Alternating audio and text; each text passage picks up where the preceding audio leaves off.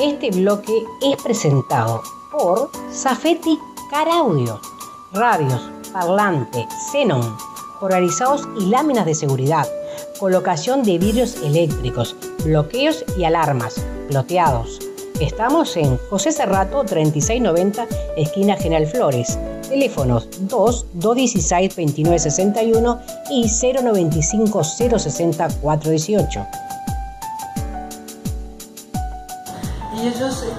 Los adultos mayores, muchas veces se quejan de eso, o de no tener espacios, o de no tener lugares para ellos, como lugares en la sociedad, o como que todo está orientado más hacia la gente joven que al adulto mayor, cosa que de a poquito ha venido cambiando y va a seguir cambiando, pienso yo que sí. Y este es también un aportecito que queremos hacer. Es muy bueno, porque, este, a ver, como tú hablabas, el tema de la dictadura como que nos, alejó de la civilización, por decirlo de alguna manera tonta, ¿no? Nos, separó un poco de la civilización, porque recién ahora, no hace muchos años, le estamos dando importancia a la gente que, por ejemplo, los ciegos, a la gente que va en silla de ruedas, este, gracias a Dios que empezamos a darnos cuenta, gracias a Dios, ¿verdad? Que nos empezamos a dar cuenta de un montón de cosas y ahora le está tocando el adulto mayor. ¿Y qué es lo que los cambios primarios y los más urgentes que se necesitaría hacer esta sociedad para que eso se sienta más cómodo, por ejemplo. Bueno, eh, voy a transmitir no lo que me parece, sino más bien lo que me transmiten ellos. Ah, este, eh, el adulto mayor normalmente lo que le duele mucho es que se lo discrimine o, o se lo destrate. Primero, porque en general han sido personas que han trabajado muchísimo, han aportado al país y honestamente parece algo muy injusto. Muchas veces sus derechos, porque hay derechos del adulto mayor, están estipulados, no se respetan. Y lo otro es eso, no tener lugares donde ellos poder, cuando, sobre todo porque el adulto mayor puede estar muy bien, ¿no? esa idea que nos hacemos del adulto mayor lleno de enfermedades, sí algunos tienen enfermedades, y si otros están muy bien, y si otros tienen enfermedades que son tratables, con las que pueden tener una calidad de vida muy buena, o sea que pueden seguir haciendo un montón de actividades, pero de pronto no tienen dónde hacerlas. Claro, yo recuerdo, tú eres mucho más joven que yo, ¿no? Yo recuerdo, yo recuerdo que cuando iba, por ejemplo, al museo, cuando era adolescente, estaban eh, los veteranos jugando las bochas, este, jugando, jugaban al, ¿cómo se llama el palito que con la, con la pelotita? Yo la vi porque no es el golf, que tienen dos más, no me acuerdo cómo se llama. Ah, pero yo, yo lo veía, eh, a este, yo lo veía jugar. Y hoy por hoy no veo, no veo veteranos, quizás, por ejemplo, en las plazas, yo me recuerdo que se juntaban en el padre de los a jugar al truco, o se ponían una mesa 4 o 5 y a jugar a la conga. Y no, no, no nos metamos dentro de la política, pero a uno te parece que también en seguridad aporta un poquito eso de por qué lo hacían solos. Tiene que ver, tiene que ver, sí.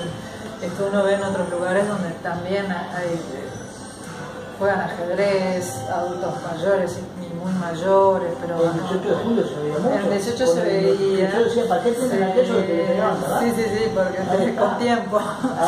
este, y como que esas actividades de pronto públicas o expuestas en plazas, así, eh, tienen miedo, sí, tienen miedo.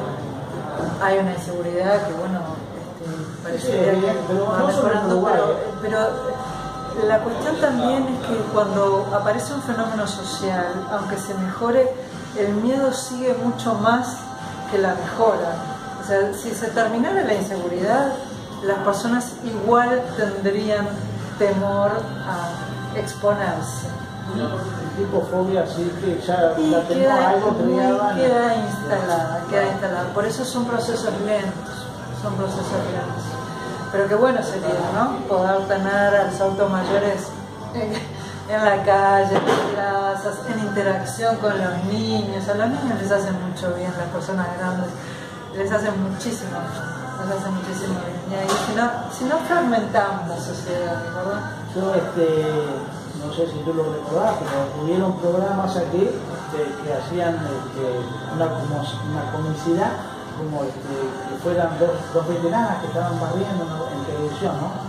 De Cataclum, Blog, este, y antiguamente, de verdad era así, se juntaban las, las, las, ma- las- las doñas, o las mamás, o las abuelas, se juntaban a, una- a barrer las la, la veredas. Y le ponían nada de ciudad, con delantal, bolero, todas esas cosas. Y esa época perdió. porque yo la viví, fue algo maravilloso, porque te inspiraba respeto, te inspiraba como que te estabas cuidando mientras que estabas en la calle, eh, cosas muy lindas que ojalá que un día podamos volver a vivir. Esperemos volver a vivirla, claro que sí. Yo quiero poder salir a la calle, andar en la Con plaza. con dineros y No sé si corruleros. Pero espero poder hacerlo. Yo quisiera, yo quisiera con mis amigos poder ir de vuelta a la playa y jugar a la, a la bocha. por lo ¿Cómo no? Esos Sí. veteranos que vos le veías las manos, todas y todos jugaban con una. aparte se tomaban su tiempo, porque el adulto mayor tiene su tiempo. Eh, es- el tiempo es una de las cosas más preciadas hoy día, ¿eh? Sí, y que nosotros no nos hacemos tiempo. No, no sé. Porque eso vamos a hablar del próximo bloque y último. Ahora cuando, porque la doctora también tiene sus compromisos, y de corazón, doctora, agradecerle este momento que para la gente de la movida uruguaya, eh, estoy seguro que va a ser de verdad de mucho este, agradecerle su presencia hoy acá en esta. Yo soy la agradecida. ¿eh?